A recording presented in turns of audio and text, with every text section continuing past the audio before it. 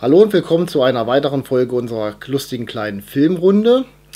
Letzte Woche war ja ein wenig Pause, das hatte ich auch schon angekündigt.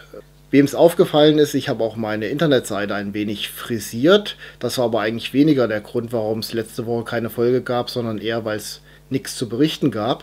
Diese Woche ist es ein wenig anders. Da habe ich drei Filme, einen fürs Kino und zwei zu Hause. Deswegen fangen wir an mit den Kinostarts am 27. Oktober, nämlich der KW 43 2016. Da beschert uns Marvel einen neuen Superhelden für ihr Filmuniversum, nämlich Doctor Strange. Der ist mir jetzt so als Nicht-Comic-Kenner äh, nicht so bekannt, aber ähm, der Trailer lässt vermuten, dass es um einen Arzt geht, der äh, einen Unfall hatte und dadurch halt schwer verletzt wird und ähm, halt nicht mehr richtig geheilt werden kann und da versucht halt alles Mögliche und landet am Ende bei so einer, äh, weiß nicht, ob das eine Sekte ist oder auf jeden Fall so einer Wunderheilerin. Und da lernt er dann halt quasi äh, magische Kräfte zu äh, benutzen. Wo der Film jetzt zeitlich eingeordnet ist, kann ich noch nicht sagen. Ähm, es gab ein Gerücht, dass, dass Iron Man irgendwie auftaucht, also muss es ja schon in der Zeit spielen, wo die letzten äh, äh, Avengers-Filme oder Captain America-Filme gespielt haben.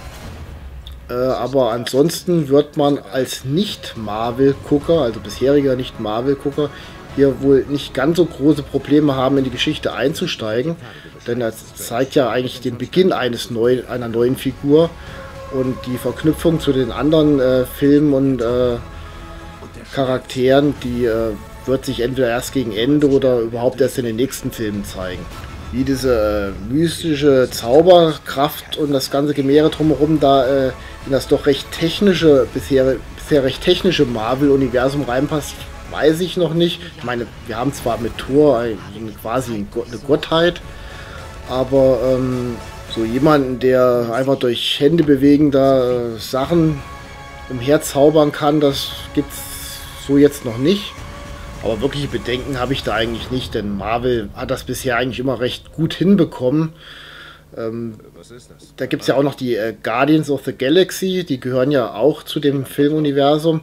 Die haben ja auch noch keine äh, Verbindung zu den Avengers gehabt. Das soll wohl auch im dritten Teil kommen. Die sind ja vom Typ her auch anders wie äh, die anderen Avengers-Leute. Also ich denke mal, da wird es ein großes Sammelsurium geben, denn im nächsten äh, großen Avengers-Film. Aber um den denn äh, genießen zu können, wird man wohl auch Doctor Strange vorher gesehen haben müssen, weil ich denke mal, dass der auf jeden Fall da auftauchen wird dann. Und rein besetzungsmäßig hat man ja mit Benedict Cumberbatch jemanden äh, gefunden, der in meinen Augen momentan mit zu den besten Darstellern gehört, die es äh, zurzeit gibt. Und deswegen bin ich auch überzeugt, dass äh, Doctor Strange ein recht guter Film werden wird. Und ich denke mal, Ende nächster Woche werde ich ihn mir angucken. Also in der nächsten Folge werde ich noch nichts darüber sagen können, aber eine Woche später dann. Werfen wir noch einen kurzen Blick auf die Blu-rays diese Woche. Da habe ich zum einen den Film Green Room. Ähm, bin ich eigentlich eher durch einen Trailer auf einen anderen Blu-ray gekommen. Und das auch nur, weil äh, Mr. Picard Patrick Stewart auf einmal da mit Vollbart rumgelaufen ist und einen ziemlich düsteren Eindruck gemacht hat. Der spielt hier drin nämlich einen ziemlichen Bösewicht. Und das ist ja was, was er nicht äh, wirklich oft bisher gespielt hat. Kurz zur Handlung. Es geht um äh, eine Punkrock-Band, die so ein bisschen durchs Land tingelt. Äh, nie Geld. Immer auf der Suche nach einem äh, neuen Auftritt und jetzt bekommen sie halt einen und da kriegen sie eine Adresse mitgeteilt. Äh, es ist dann so ein, so ein Club beziehungsweise so eine Bar, die äh, mitten im Wald oder mitten im Nirgendwo liegt.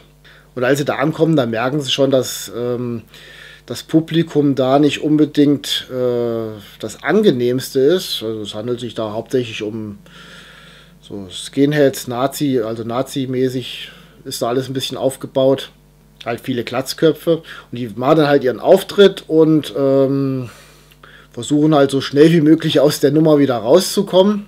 Nur blöderweise, wo sie ja Kram zusammenpacken und schon fast zur Tür raus sind, beobachtet einer äh, mehr oder weniger einen Mord und das können die äh, Klatzis nicht einfach so stehen lassen. Und deshalb ähm, werden, wird die Gruppe halt dann festgehalten, in einen Raum eingesperrt und man wartet dann auf den, äh, den Anführer, das ist halt Patrick Stewart.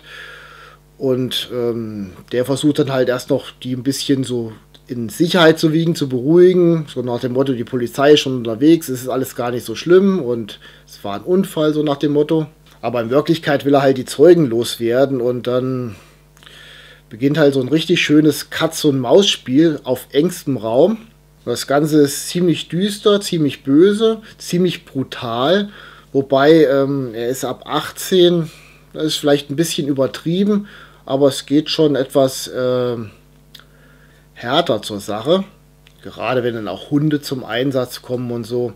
Also eine ziemlich äh, spannende Geschichte und könnte man durchaus als Geheimtipp sehen und ist deshalb auch meine Blu-ray der Woche, Green Room. Da kann der zweite Film, den ich habe, nicht ganz mithalten. Nämlich ist das The Witch, eine ähm, Hexengeschichte fast ohne Hexen, würde ich mal sagen. Das Ganze spielt äh, in äh, Amerika irgendwo wann im 17. Jahrhundert. Und ähm, es gibt, ist eine Familie, die äh, aus einem Dorf ausgestoßen wird wegen irgendwelchen religiösen Äußerungen. Und die äh, fangen ein neues Leben an in der Wildnis am Rande von einem Wald. Und eines Tages verschwindet dann plötzlich äh, der neugeborene Sohn und die äh, älteste Schwester wird halt verdächtigt, eine Hexe zu sein. Die, die äh, anderen Geschwister, die äh, forcieren das so ein bisschen die, äh, und äh, erzählen dann den Eltern, dass die älteste Schwester sich so ein bisschen hexenmäßig benommen hätte und so. Die Wahrheit ist dann natürlich ein bisschen anders. Es gibt da in dem angrenzenden Wald wirklich eine Hexe, aber das ist nicht wirklich das, was so das Gruseln in, dem, in der ganzen Geschichte bringt. Im Prinzip ist es eher ein Familiendrama mit ein paar gruseligen Einlagen. Also hexenmäßig geht es erst ganz zum Schluss zur Sache, aber auch das eher harmlos. Also so Schockeffekte, wie man sie bei solchen Filmen gerne mal hat, äh, sucht man hier mehr oder weniger vergeblich. Auch sonst ist es, hat es eigentlich wenig von einem Horrorfilm. Das Ganze baut sich auch recht äh, träge will ich jetzt nicht sagen auf, aber langsam schon. Es ist ein sehr ruhiger Film, der aber eine recht äh, schöne Atmosphäre, also das Ganze drumherum, es sieht, sieht gut aus, äh, ist stimmig, auch gute Darsteller, da gibt es nichts zu meckern. Aber so uneingeschränkt empfehlen kann ich ihn nicht, denn äh, wie gesagt, das ist halt wirklich ähm, dem einen oder anderen könnte es das Ganze ein bisschen zu langatmig sein. Aber trotzdem für mich kein wirklich schlechter Film. Ist äh, nichts wirklich Neues, nichts Aufregendes, aber man kann sich durchaus mal angucken. Nur man sollte halt nicht wirklich viele Hexen erwarten. Also The Witch, meine zweite Blu-ray. Und damit soll es das für heute auch gewesen sein. Ich wünsche viel Spaß im Kino, zu Hause und bis zur nächsten Woche.